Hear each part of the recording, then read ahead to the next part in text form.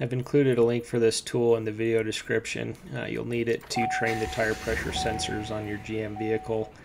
Uh, scroll to the tire pressure page and press and hold the scroll wheel to enter training mode. You'll hear the horn beep a couple of times.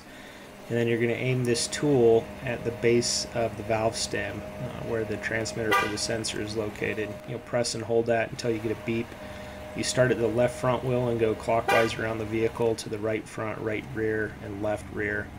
And when you've completed the training on the final wheel, uh, you'll get a, an additional honk at the end there and you know it's complete and your tire locations will align with the display in the vehicle.